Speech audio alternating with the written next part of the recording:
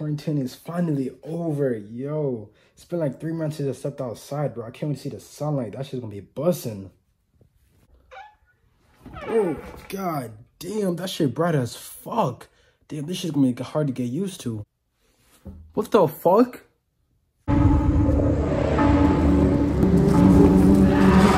what the fuck happened? It's been three months.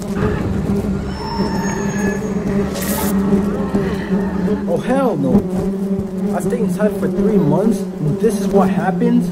Bro, nah. I'll give you a head for flesh. Shit, say no more.